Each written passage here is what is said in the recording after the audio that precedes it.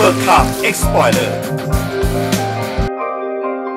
อามันเขาบอกว่าไปเมืองเซมปอร์นาเซมปอร์นาที่จะมีชนเผ่าบาเจาครับ ชนเผ่าบาเจาเนี่ยก็จะเป็นชนเผ่าพื้นเมืองที่อยู่ในทะเลที่ไม่สามารถที่จะถือสัญชาติใดได้เลย เพราะว่ามาเลเซียก็ให้อยู่ในประเทศได้ แต่ไม่ได้อยู่ในแผ่นดิน อินโดนีเซียก็ให้อยู่ในประเทศได้ แต่ไม่มีแผ่นดินให้อยู่ ยิ่งหนักไปกว่านั้นครับ ที่ฟิลิปปินส์อยู่ไม่ได้เลย เพราะว่ามีการสู้รบทางตอนล่างของประเทศฟิลิปปินส์ตอนนี้เราจะไปอยู่กับชนเผ่านี้ ไปดูซิว่าเขามีวิถีชีวิตที่ต้องอพยพ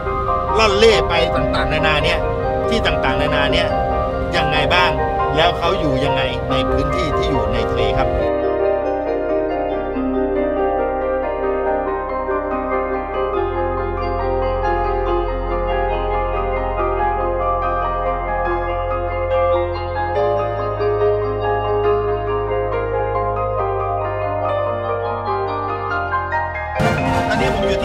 ที่เมืองเซมโกนาครับผมจะไปยังหมู่เกาะที่มีชาวบาเจ้าอยู่ครับเขาบอกว่าต้องซื้ออาหารเพื่อที่จะเป็นเสบียงไปยังเกาะครับ เพราะว่าเกาะที่เนี่ยห่างไกลจากผู้คนมาก แล้วชาวเกาะจะมีเฉพาะอาหารทะเล เราต้องซื้อของฝากไปฝากเขาด้วยอ๋ออันละแปดเอาเอาเอาเอา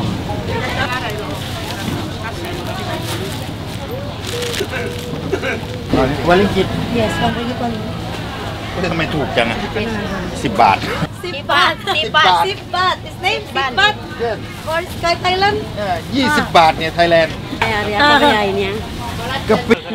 Sawadikap. สวัสดีค่ะโอ้ยน่ารัก Oi, dalam. เขารู้ภาษาไทยด้วยนะ บอกไว้ก่อนว่าคนมาเลเซียคุณอย่ามาพูดภาษาไทยให้คนที่นี่ได้ยินเขารู้ภาษาไทยด้วย แต่สิ่งที่จะเอาไปฝากเขาเนี่ยจำเป็นที่สุดคือมันกับอาหารที่อยู่บน พื้นบกนี่แหละ ที่บดอยู่บนฝั่งเราก็คือมีกล้วยมีมัน มีอาหารผลไม้ประเภทพวกนี้ข้าวอย่างเงี้ย ที่บนเกาะเขาไม่มีเราต้องเอาไปฝากเขา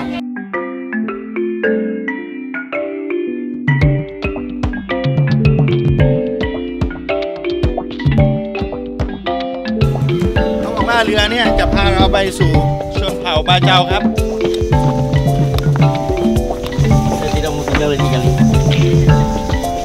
อาศัยเรือเข้าไปแหละ เข้าไปอย่างนี้ก็ตามเข้าไป จุดหมายปลายทางของเราคือไปที่เผ่าบาเจ้าครับ ซึ่งเป็นชนเผ่าที่บอกได้เลยว่าเขาอยู่กับทะเลเขาเกิดกับทะเลเขาตายกับทะเลเขายับย้ายถ่ายเทหรือว่าขยับขยายชุมชนเขาเนี่ยไปทุกเกาะในแถบแปซิฟิกครับ และตอนนี้เราอยู่ในมหาสมุทรแปซิฟิกตอนล่างครับ แถบประเทศ อินโดนีเซียและมาเลเซียครับ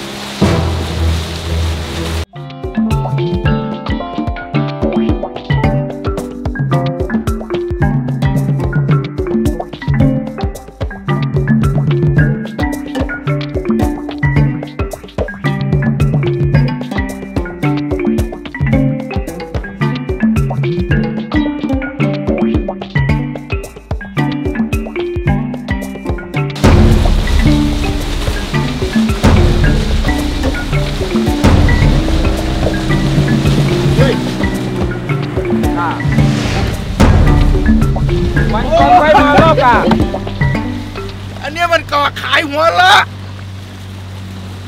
ผมก็นึกว่ามันไม่มีจริงในโลก มันมีจริงในโลกนี่แหละ มีต้นมะพร้าวหนึ่งต้นสองต้น ถ้ามีผู้หญิงอยู่คนหนึ่งใครได้ดูในการ์ตูนขายหัวเราะเนี่ยใช่เลย โอ้ย แล้วเราจะอยู่ได้ไหมเนี่ย ถามว่าอยู่ได้ไหม อยู่ได้ ไม่ยากหรอก แต่นี่แหละคือวิถีชาวบาเจ้า แต่รู้สึกว่ามันเป็นเกาะที่น่ารักมาก แต่เท่าที่ดูเนี่ย ผมว่า คงไม่มีบ่อน้ำให้อาบ คงได้ซักแห้งกันแหละทีนี้ ก็อย่างที่ว่านะเขาไม่มีสัญชาติ เขาไม่มีที่อยู่แผ่นดินจะอยู่ก็ยังไม่มีมีแผ่นดินเล็ก ๆ เพียงไม่กี่ตารางเมตรอะแต่พวกเขาก็สามารถอยู่ได้ แต่ส่วนมากเขาก็อยู่ในเรือแหละ เหมือนชาวเรือหรือว่าชาวเกาะทั่วไป ที่เขาต้องอยู่อาศัยที่เนี่ยชอบชอบอะ ตื่นขึ้นมาตกใจเลย หลับไปหนึ่งชั่วโมงกว่าดีเด็ก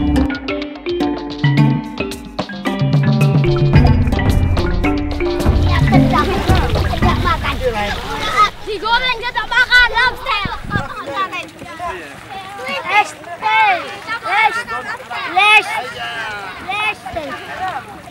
เราได้เรียนรู้แน่ๆล่ะชีวิต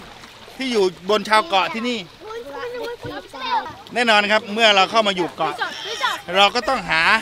หัวหน้าชนเผ่าบิ๊กซะบิ๊กบิ๊กฮัลโหล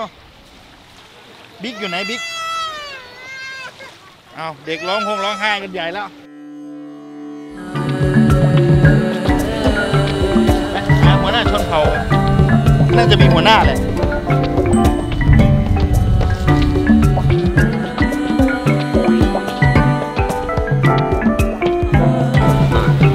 ครับ เจอแล้วล่ะ ที่เราจะได้อยู่กับเขาก็ไม่ยากหรอกก็มาทำทำตัวให้เข้าเขาให้มาก แต่สิ่งที่เราสงสัยก็คือ เขาสงสัยเรามากกว่าตอนเนี้ย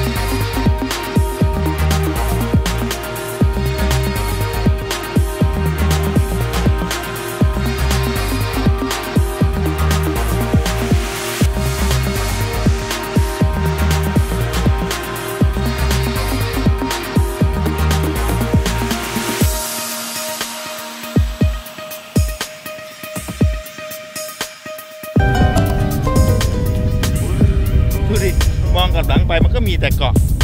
เกาะเดียวจริง ๆ ด้วย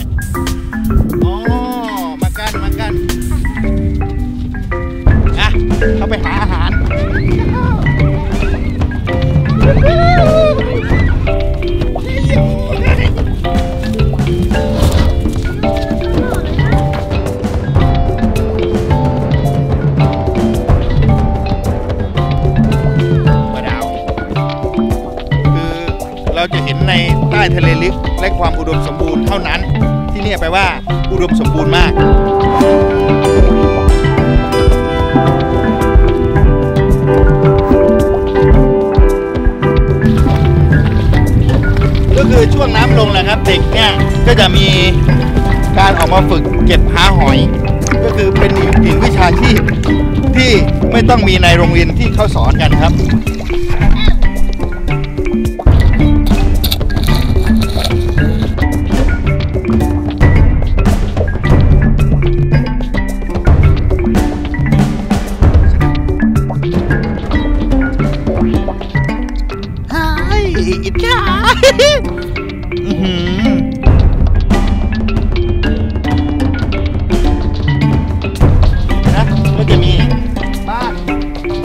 เป็นเรือนี่แหละ เรือทำเป็นบ้านสิ ไม่ใช่บ้านทำเป็นเรือ ทุกอย่างพอน้ำลงก็ทุกอย่างมันก็จะกลายเป็นบ้านทันทีเลย พอน้ำขึ้นก็จะกลายเป็นเรือ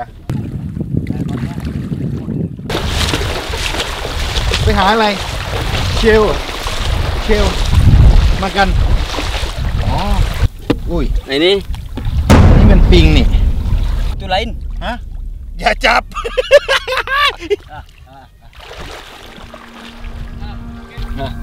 ไม่ได้ Ini ini. ทีนี้อ๋ออันนี้มันกินได้ Saya lagi. Hah? Ini bukan. Betul betul. ที่ปุกัน Ambil ambil. อันแบะ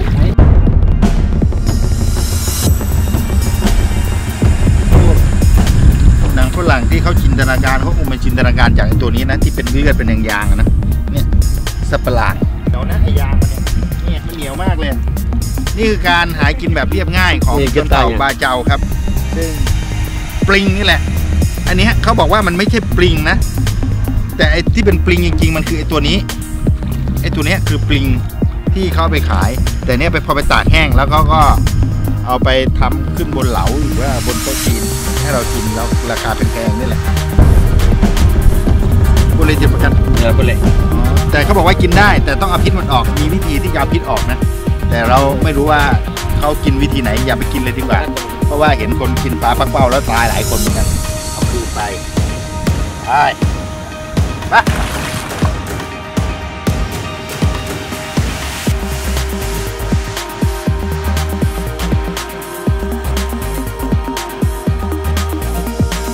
มันจะนอนได้เหรอคือเรือมันแคบแค่นี้ดูดิแค่พลิกตัวก็ไม่ไหวแล้วไปไปเล่นกับเด็กๆดีกว่า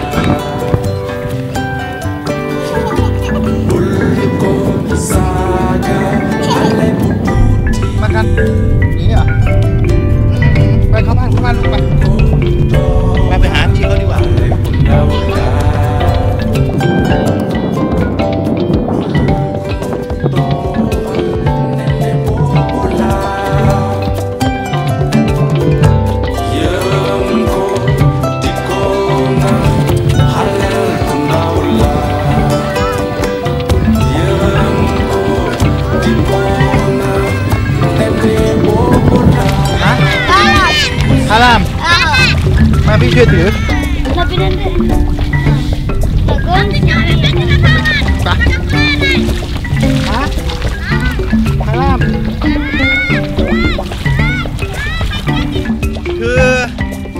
ลงเด็กๆ ก็จะวิ่งลงสู่